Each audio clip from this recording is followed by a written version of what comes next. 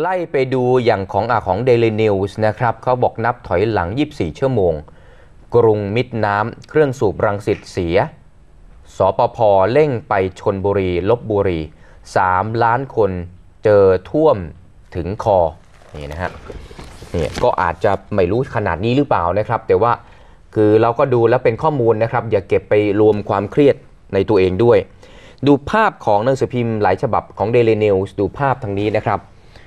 ภาพ Daily News ที่เราเป็นห่วงก็คือพื้นที่พระบรมมหาราชวังกับวัดพระแก้วน้ำเข้าไปแล้วนะครับ เมื่อวานเจ้าหน้าที่เอากระสอบไปกั้น ก็ปั๊มน้ำสูบออกมา เข้าไปที่วัดพระแก้วเลยใช่ครับ ตอนนี้คนก็กังวลใจเพราะว่าเป็นเป็นเขตที่เป็นจุดท่องเที่ยวที่ดึงนักท่องเที่ยวได้เยอะนะครับ ไปดูของไทยรัฐก็มีบรรยากาศเจ้าหน้าที่โอ้โหต้องชมครับคือตอนนี้เนี่ยต้องให้กำลังใจกันทุกคนแหละครับเพราะเหนื่อยทั้งนั้นนะฮะทหารเจ้าหน้าที่ สปภหลายคนก็จะหมดแรงกันอยู่แล้ว ทหารก็สู้สุดชีวิต ถ้าไม่ได้ทหารแล้วก็ลำบากนะครับนี่ทหารช่วยกันเยอะนะฮะได้อาสาสมัครคนมีน้ำจิตน้ำใจดีมากนะครับเนี่ยฮะดูของไทยรัฐยิ่งลักถึงน้ำตาคลอรับกทมวิกฤต และดูภาพข้างล่างนะครับ เป็นภาพที่เจ้าหน้าที่ประจำท่าอากาศยานดอนเมืองกรุงเทพ เข้าไปกู้ภัย เอาทั้งหินครุกแอสฟัลต์ ไปกั้นบริเวณถนนดอนเมือง แถววิภาวดีรังสิตประตูบดม 5 มันพังเจ้าหน้าที่ถูกน้ำซัดกระเด็นเลยฮะล้มลงไปเลย ภาพที่เห็นนะภาพล่างขวาอ่าภาพล่างซ้ายของไทยรัฐ ก็เป็นภาพที่ชาวบ้านย่านดอนเมืองอพยพขนข้าวขนของขึ้นปิกอัพไปแบบปัจจุบันทันด่วน ก็ปรากฏว่ามีเจ้าตูบแสนรู้วิ่งไล่ตามหลังมานะฮะน้องสารขอไปด้วยฮะมันก็แย่เหมือนกันนะครับนังสารนะเขาก็ต้องชะลอเพื่อรับ สัตว์เขาก็มีชีวิตค่ะมีความรู้สึกเหมือคือนกันในนะคกรับรณีน้องหมาเนี่ยเราก็ไม่แน่ใจว่าอาจจะไม่ใช่ไม่ใช่หมาที่เขาเลี้ยงอะค่ะ อาจจะเป็นหมาแถวบ้าน แล้วบังช่วยเอิกัญนให้นะอาหารกันอยู่ มันก็เลยวิ่งตามมาใช่ครับสงสารมันดูของคมชัดลึกนะครับ ภาพที่เป็นข่าวเนี่ยดูบ้าเริ่มเทิมเลยครับ คือล่าสุดตอนเนี้ยคนที่ทำธุรกิจย่านสีลมคุณดูฮะเขาเอากระสอบไปกั้นคุณดูว่าสูงเหมือนมากมันเขื่อนแล้วนี่2เมตรสองเมตร เลยหัวคนเนี่ยฮะคือก็ไม่รู้ทำยังไง แต่เขาบอกเวลาน้ำมันมาไม่ได้มาตรงๆ มันมากับท่อระบายน้ำฮะ มันซึมขึ้นมาฮะมีหลายจุดที่เขาเล่าให้ฟังบอกน้ำไม่ได้มาตรงๆ มันซึมท่อแล้วปุดๆเหมือนในหนังนะฮะแล้วก็ทะลักพรวดขึ้นมา แล้วอีกจุดหนึงก็โถมเข้ามาโจมตีตรงๆ น้ำตรงไหนไปได้มันไปหมดนะครับ ดูของอะดูเดลินิวอีกแป๊บหนึ่งข้างล่างนะครับ เจ้าหน้าที่วัดหลักสี่ต้องช่วยกันย้ายลงศพ หนีน้ำทุลักทุเลฮะเนื่องจากน้ำในคลองเปรมประชากรไหลเข้ามาจากทางรังสิตเออ เข้าท่วมวัดเร็วมากตั้งตัวเกือบไม่ทันนะฮะก็เกรงว่าเดี๋ยวน้ำจะสร้างความเสียหาย ก็เลยต้องขนย้ายค่ะเมื่อวานนี้ตามรายงานเนี่ยใครที่ไปหมอชิดรถขาดนะฮะคนตกค้างเยอะเลยนะครับ คนออกต่างจังหวัดกันเยอะแล้วก็มาพื้นที่ดอนเมืองเนี่ยโอ้โหวันก่อนผมลงใต้ไป 2 วันที่แล้วลงไปสงขลา ไปเช้าเย็นกลับคุณนิธินาถนะไปโลตัสบิ๊กซีสงขลา น้ำขาดนะฮะมีน้ำจืดเหมือนกันแต่ไม่พอ ขาดไปถึงโน่นเลย ปลากระป๋องไม่มีสักกระป๋องนะฮะสงขลาเนี่ยเหรอไม่มีฮะผมไปซื้อมาแล้ว ไปถามว่าบอกหมดพี่หมดทุกยี่ห้อฮะสามแม่ครัวอายำตาเพชรไม่มีเลยฮะไปซื้อตามร้านโชห่วยยังพอเหลือนะครับ แต่มันน้อยมากตอนนี้ของมันคือรถวิ่งส่งไม่ทัน เพราะว่าถนนมันขาดเป็นจุดขณะเดียวกันศูนย์กระจายสินค้าแถวรังสิตก็โดนน้ำท่วมกทมก็พยายามจะเร่งแก้ปัญหาอยู่นะครับ ล่าสุดตอนนี้เนี่ยคุณผู้ชมที่อยู่กรุงเทพ ออกไปต่างจังหวัดเป็นล้านนะฮะขับรถไปเองนั่งรถ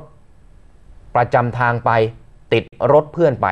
พัทยาหัวหินเพชรบุรีประจวบชุมพร เต็มเหยียด ระยงระยองกุณิธินาเกาะเสม็ดก็ไปนะฮะอืมรายงานระบุนะครับตตออนนนี้นี้เที่ยวได้เนี่ยนะครับอย่างหัวหินเนี่ยคุณสุวิทย์เหรียญลุ่งเรืองรองนายกเทศมนตรีเมืองหัวหิน บอกว่าคนกรุงเทพอพยพ หลบน้ำท่วมมาที่นี่เต็มเลยฮะจราจรบนถนนเพชรเกษมติดขัดสุดๆ ปัญหาสถานที่จอดรถในเขตเมืองชั้นในก็มีปัญหา คนก็กักตุนสินค้าห้างสรรพสินค้า เซเวงเซเว่นของไม่มีฮะร้านคงร้านค้าเกลี้ยงหมด ผู้ประกอบการโรงแรมชื่อดังในหัวหินก็บอกครับว่าตอนนี้ห้องพักส่วนใหญ่เต็มร้อยเปอร์เซ็นต์บางจุดก็ใกล้จะเต็ม 90 กว่าเปอร์เซ็นต์แล้ว ชาวบ้านมาเป็นครอบครัวบุคคลมาเป็นกลุ่ม ลักษณะพิเศษก็คือบางคนนะครับ ย้ายออฟฟิศมาตั้งที่โรงแรมเหมาชั้นนะฮะ ชั้นหนึ่งสิบห้ายี่สิบห้องทำเป็นออฟฟิศขอเช่ายาวครับ บางคนเช่า 2 อาทิตย์ 3 อาทิตย์ เศรษฐกิจหัวหินคึกคักสุดๆ ตอนนี้นะครับ ร้านสะดวกซื้อ คนไปตุนสินค้าของไม่พอขายน้ำดื่มเกลี้ยง แม้กระทั่งน้ำพริกก็หมดฮะล่าสุดเนี่ยเขาบอกคุกกี้บางเจ้าเนี่ยเหลือกระป๋องเดียวก็เอาฮะเขาบอกคุกกี้ยี่ห้ออิมพีเรียนอะไรเหลือเหลืออันนึงก็เอาฮะดีกว่าไม่มีกินนะครับ รายงานระบุคือทางผู้ว่าราชการจังหวัดประจวบคุณวีระศรีวัฒนตระกูลก็บอกครับบอกว่าตอนนี้ขอร้อง พวกโรงแรมที่พักให้ช่วยลดราคา 50%อย่างแถวอำเภอบางสะพานน้อยลดราคาให้หน่อยคนหนีร้อนมาเพิ่งเย็นน่ะต้องช่วยหน่อยฮะลดราคาเขาจะติดป้ายนะครับว่าที่นี่ลด 50%แต่มีข้อแม้ต้องอยู่นาน 5 วันขึ้นนะฮะก็คืออยู่กับเขานานหน่อย ก็คงไม่กลับเร็วแล้วครับเพราะน้ำมากรุงเทพแบบนี้นะครับ พัทยาตามรายงานผู้อำนวยการท่องเที่ยวแห่งประเทศไทยพัทยาคุณอัธพลวรรณกิจ ก็บอกว่าตอนนี้ประชาชนเดินทางมาพัทยาจนเต็มเกือบทุกแห่ง ส่วนใหญ่เป็นกลุ่มมีกำลังเงินมาพักขอพักเป็นเดือนฮะโรงแรมที่พักจากการสอบถามตอนนี้เนี่ยเดิมทีเดียว 50%เฉลี่ยขึ้นมา 71 แล้วยอดกำลังสูงขึ้นต่อเนื่อง มีฝรั่งยกเลิกห้องพักประมาณ 3%แค่นั้นเอง ก็ที่ยกเลิกไปมีพวกฮ่องกงจีน อินเดียรัสเซียเขาตกใจ ก็ให้เขากลับนะครับ แต่คนไทยขอไปพักแทน ค่าห้องก็คือประมาณ 700ถึง2,500 บาทต่อคืน คุณอิทธิพลคุณปลื้มนายกเทศมนตรีเมืองพัทยาก็บอกว่าตอนนี้เนี่ยห้องพักสูงขึ้นเยอะเหมือนกันมากกว่าปีที่แล้ว 30%ก็มีคนทยอยเข้ามาต่อเนื่องกังวลก็คือว่าของกินของใช้เข้ามาแย่งกันเยอะของจะไม่พอเอา เกาะล้านนะคุณนิตินาถครับ ไปกันเกือบเต็มนะฮะ เกาะล้านสวนนงนุษเมืองจำลองตลาดน้ำสวนเสือสวนสัตว์เปิดเขาเขียวละแวกนั้นมีที่พักไปหมดนะฮะคนไปพักอย่างชาวบ้านที่อยู่มีนบุรีก็บอกระบอกมาตรงนี้เนี่ยอย่างน้อยปลอดภัยก็มาอยู่ที่หาดจอมเทียน เขาลดราคาให้ 40%ห้องเดี๋ยวนี้ไม่เลือกครับ 2 ดาวก็เอาฮะสามดาวมีก็เอาครับ คนมีสตังค์กำลังทรัพย์ก็อาจจะพัก 5 ดาวคนที่พอจ่ายไหวก็2อสดาวก็ต้องยอมนะครับ คนปทุมก็ไปเต็มไปหมดเลยนะครับ คนที่อยู่ฝั่งทนมหาสวัสดิ์ทวีวัฒนาไปพัทยาเต็มเลยครับ เพชรบุรีก็เช่นเดียวกันนะครับชะองชะอำเต็มเรียบนะฮะตอนนี้ฮะประจงประจวบปราณบุรีก็เยอะ ล่าสุดการจนบุรีก็ไปนะครับคือรายงานระบุดอกนายกสมาคมธุรกิจท่องเที่ยวเมืองการ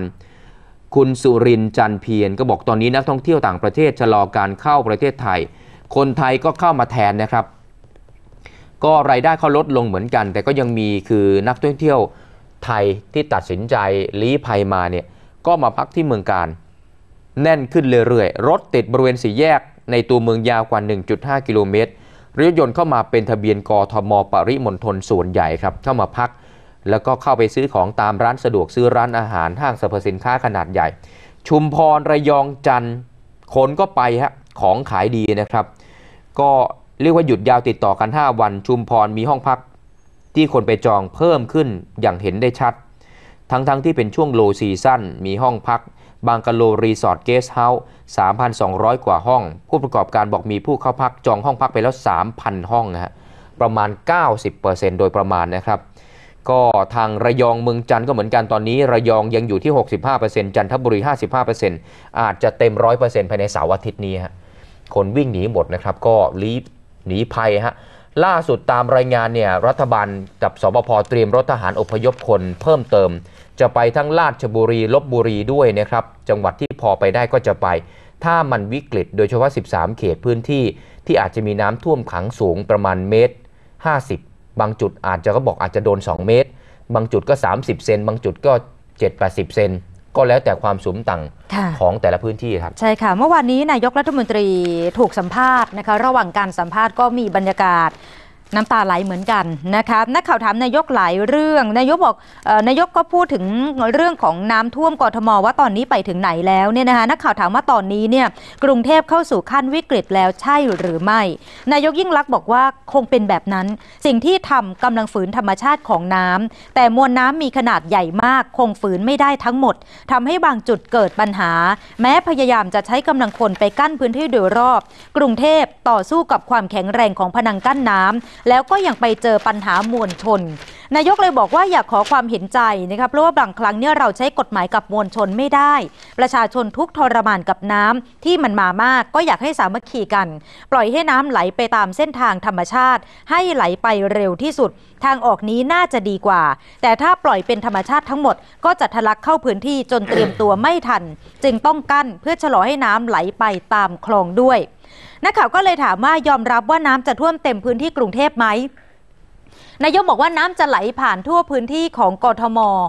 ทั้งกทมเหมือนกันนะความสูงต่ำก็จะไม่เท่ากัน บางพื้นที่อาจจะท่วมนิดหน่อยแค่ 10เซนติเมตรบางพื้นที่ที่อยู่ใกล้เครื่องระบายน้ำก็คงจะท่วมไม่นาน ซึ่งก็หวังว่าระบบการระบายน้ำถ้าทำกันเต็มที่ จะช่วยให้น้ำลดลง แต่ปัญหาใหญ่ที่สุดก็คือน้ำไม่ได้ไหลลงสู่คลองเยอะ ต้องใช้เครื่อง ดับเครื่องผลักดันน้ำที่เข้าไปช่วยเยอะเหมือนกันทำให้การระบายน้ำฝั่งตะวันออกดีขึ้นมาก แล้วน้ำก็เริ่มลงคลองแสนแสบมากขึ้นแล้วด้วยนะครับนักข่าวถามหลายประโยคค่ะ แต่ประโยคหนึ่งถามถึงว่าอยากฝากอะไรถึงประชาชน มาถึงตรงนี้นี่จุกที่คอเลยนายกพูดไม่ออก น้ำตาไหลนะแต่ก็พยายามกั้นน้ำตาบอกว่ากลับเรียนประชาชนว่าเรามีเจตนาดี มีความตั้งใจที่ดีด้วย ไปฟังเสียงสัมภาษณ์แล้วก็บรรยากาศนายกให้สัมภาษณ์เมื่อวานค่ะ กับเรียนพี่น้องประชาชนว่าเรามีเจตนาดี แล้วก็มีความตั้งใจนะคะหายใจลึกๆอะไรนะคะ ไม่ท้อค่ะ ไม่ท้อค่ะท่านนายกร้องไห้บ่อยนะคะเกี่ยวกับปัญหาหลังจากที่ไม่ไม่ได้ร้องเลยค่ะ ต้องเรียนว่าไม่ได้ร้องเลย แล้วก็หลายหลายท่านที่เห็นภาพในนั้นไม่ทราบว่าเป็นยังไงมันเป็นจังหวะแต่ไม่เคยร้องไห้ค่ะ เพราะว่าเราเองเราอยู่ตรงนี้เราต้องเข้มแข็งแล้วก็ยืนยิ้มรับช่วยกันยิ้มทั้งน้ำตาไม่ท้อค่ะ ยิ้มทั้งน้ำตาเลยนี่ยิ้มน้ำตาโอ้ยไม่ท้อไม่ท้อท่านนายกไม่ต้องในช่วงภาวะวิกฤตที่ว่าของจริงอย่างเงี้ยนะคะจะมีมาตรการพิเศษออกมาไหมคะในเรื่องเป็นมาตรการพิเศษเพื่อรองรับอะไรเพิ่มเติมเลยค่ะเอ่อมาตรการวันนี้เนี่ยมาตรการป้องกันเราคงจะต้องยอมรับว่าทำได้ยาก เพราะว่าวันนี้ประเทศเพื่อนบ้านเป็นหลายประเทศแล้วนะคะ กัมพูชาเวียดนามเจอภาวะแบบเราหมดเลย นักข่าวไปถามนายกว่าร้องบ่อย คือเมื่ออืมเมื่อวันก่อนสักเดือนที่แล้วเนี่ยมันมีครับภาพนายกรัฐมนตรีบนเฮลิคอปเตอร์ ตอนกำลังจะขึ้นบินนะคะแล้วมีภาพเหมือนกับร้องไห้อยู่ แล้วก็เอาทิชชู่ซับน้ำตาครับนักข่าวเลยถามทำไมร้องบ่อยนายกบอกมันเป็นจังหวะไม่ได้ร้องจริงคือต้องยอมรับตรงๆ คือนายกก็เป็นมนุษย์นะฮะๆมันกดดันฮะ และเป็นผู้หญิงด้วยไงเป็นเป็นผู้หญิงจะกดดันที่สงสารมันเครียด คือคำถามหนึ่งที่เมื่อวานผู้สื่อข่าวถามเนี่ยเขาถามคำนี้ก่อนนะฮะเขาบอกว่า กลัวหรือเปล่าประชาชนจะลุกคือไม่พอใจการทำงานของสอปพตรงเนี้ครับนายกเสียงสั่นเลยฮะก็บอกต้องขอความกรุณาให้เห็นใจ เพราะสปพเป็นศูนย์เดียวเจ้าหน้าที่มีจำกัดกลายเป็นผู้ประสบภัยด้วย รวมทั้งเกิดจากการรวมพลังของทุกคนในเวลาอันรวดเร็วเพียงวันเดียว ต้องดึงความสามารถทุกภาคส่วนทั้งรัฐเอกชนกระทรวงต่างๆ ก็มีทั้งเข้าใจตรงกันบ้างไม่ตรงกันบ้าง เจ้าหน้าที่ก็เหนื่อยล้าก็พยายามจะสู้กัน ให้ขวัญกำลังใจเต็มที่ก็ขอกำลังใจซึ่งกันและกัน น้ำมันมาก็เกือบ 2 เดือนแล้ว ก็เจอคำถามต่ออย่างที่เมื่อกี้นะครับบอก จะฝากอะไรถึงประชาชน คือนายกก็จุกเลยฮะน้ำตาคลอก็ให้กำลังใจก็น่าก็สงสารเธอมกันฮะมันเครียดอะมันกดดันอะคือใครนั่งตรงนี้เครียดทั้งนั้นนะฮะแล้วก็มีเรื่องนงเรื่องน้ำด้วย ก็ตามรายงานก็คือรายงานระบุนะครับว่าที่ประชุมสปพเมื่อวานที่มีนายกนั่งเป็นประธาน พบว่าปัญหาการระบายน้ำลงทะเลทำได้น้อยมาก โดยเฉพาะทุ่งฝั่งตะวันออกของกทมที่ต้องการใช้เป็นทางผ่านน้ำหรือ flood way โดยใช้วิธีสูบและดึงน้ำออกจากคลองรังสิตประยุรศักดิ์เป็นสัปดาห์ แต่ปริมาณการระบายเนี่ยคือมุมมองรัฐบาลกับหลายคนบอกทำได้ดี แต่พอไปนับปริมาณมันได้วันหนึ่ง20 ล้านลูกบาศก์เมตรเอง แต่น้ำเข้ามาวันเป็นร้อย เอาออกได้ไม่ถึง 1 ใน 5 มันก็เลยมีผลกระทบทำให้ทุ่งรังสิต เอ่อล้นคลองลังสิตบริยศักดิ์เอ่อล้น ไหลเข้ามาวิภาวดีทูป่าเตมีเข้าไปกรุงเทพชั้นในไปตามคลองแสนแสบ ไปตามคลองระบายน้ำฉะนั้นวังทองหลางลาดพร้าวก็จ่ออยู่ เพราะมันมาตามเส้นเลือดใหญ่แบบนี้เนี่ยนะครับ